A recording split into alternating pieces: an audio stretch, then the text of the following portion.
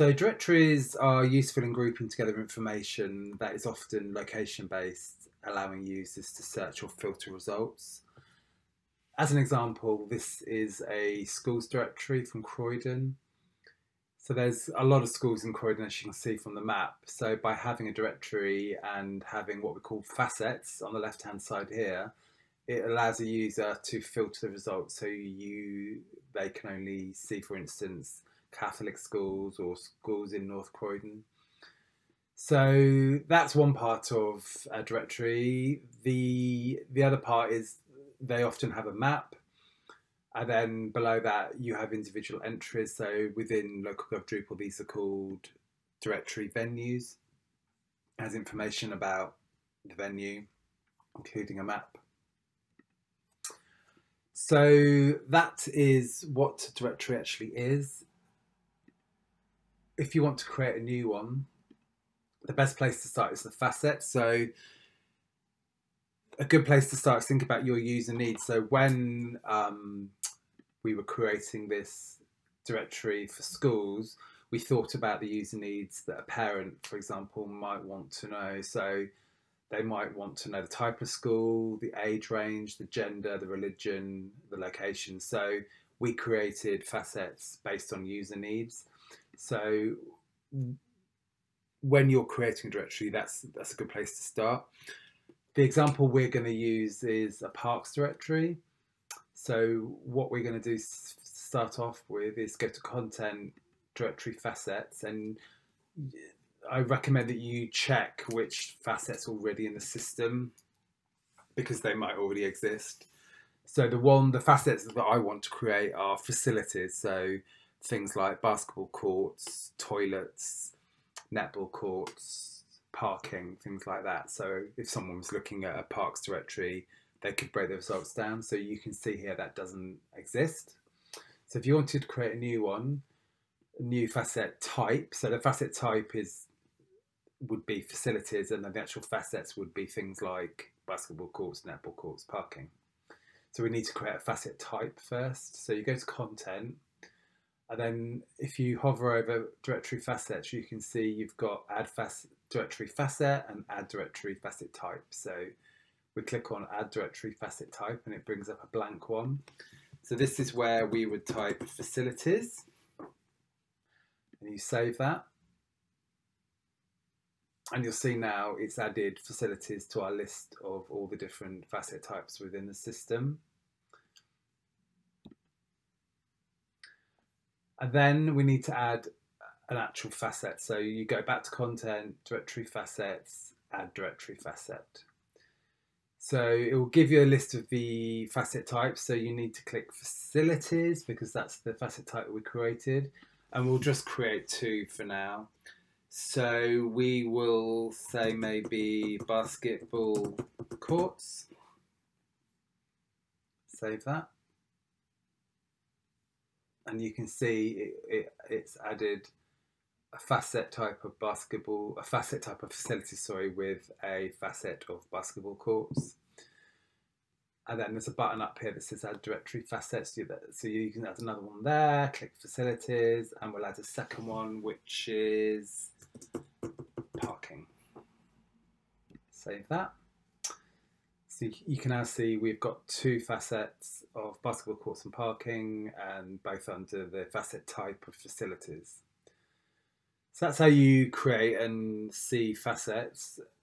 Next you need to create the actual channel. So a good starting point is if you go to content and use this drop down here, click on directory channel. That allow you to see any directory channels that have already been created. So on this one there's two. So if you want to create a new one, there's a button up here that says add content, or you can just go content, add content, directory channel. So firstly, you need to have the title. So in this example here from Cumbria, this piece of text here is the title. It's useful to have directory actually in the title. So we're going to say directory of parks. Next, you need to add the parent. So this is how you create the navigation. So in this example here, this sits within ceremonies.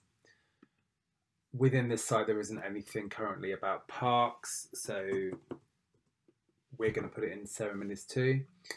If you see anything with these magnifying glasses, it's a lookup, so you just need to start typing and you'll see this is the page we want, so that will place it within ceremonies. Then you have a summary and a body field. So in this example here, summary text is this text that sits below the title. And then the body text is this text here. So the summary text obviously summarizes what the what the directory is all about, and then the body text introduces the channel. So summary text would be something like um, directory of parks and open spaces in Cumbria, including details of sports facilities, parking and opening hours or something along those lines.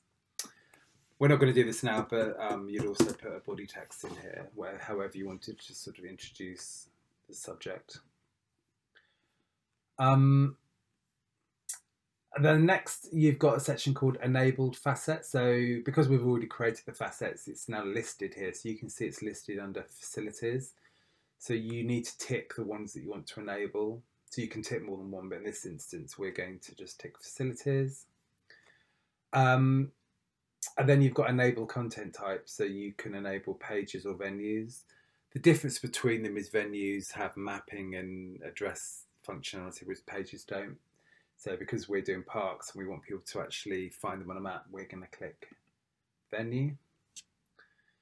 So I'm just going to move that publish button to unpublish because we're just working in a draft format for now. And then you can just click save and you can see that has created the channel, it's placed it within ceremonies, it has our summary text here, uh, and then it has the body text and it has no results were found. That's because we haven't created our first venue yet, so we can do that now. So you go to content, add content, directory venue. So this is where you would add the first of your parks. So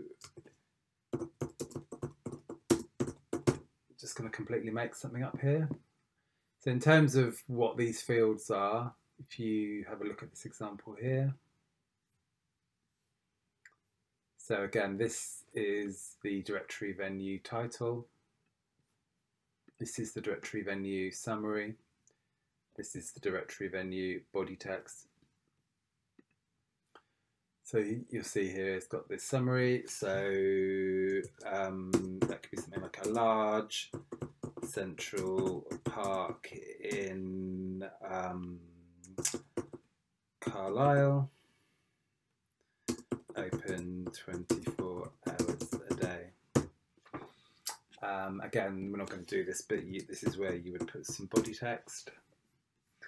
Um, you can add attachments. So in this example here, you can see there's an attachment of a ceremony room.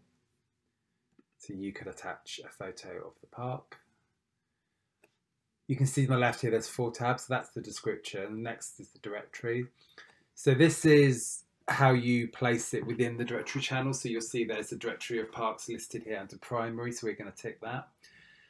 Um, you can place it in more than one directory as well, so you can place it in a secondary directory if you wanted to. And then you can see the facet section. So because we've enabled facilities, it's bringing up this list here. So we're going to say that this park has basketball courts and parking, so we'll tick both of them. Obviously, this would be a longer list if you've done this properly and you would just select the ones that it actually does have. So that's that second tab. Third tab is inquiries. So this is all your contact details. So you've got contact name, contact job title, phone numbers, email addresses. You can put a URL as well um, if there was a particular website you wanted to link to. And then the last one is venue. So this is how it creates the uh, mapping. So you would put the address details in here. There's section here on accessibility, so there's some useful text here, any information about access or restrictions at the address. Um, so you could say something like steps up to the entrance or something.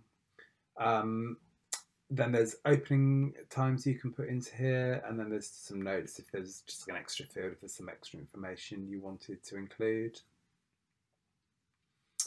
So I think I'm going to have to put something in here for it to let me proceed. So we will add this park here. I'm just going to again just switch off publishing so it doesn't put it live and then save that. So this is our directory venue. So again, you can see the title, the summary, and then you can see a map. And if you zoom in, you'll see that this has located it in a park in Hove. Um, and it's also automatically added the address details as well. So to go back to the directory channel, if you see up here, it's created navigation. So you can click on directory of parks. Oh, actually, the reason that's not showing is because I think it does need to be published, actually. So let's just do that now. So there's a toolbar up here, which is view, edit, delete, revisions. So you go back into edit. Let's switch that published on and save it.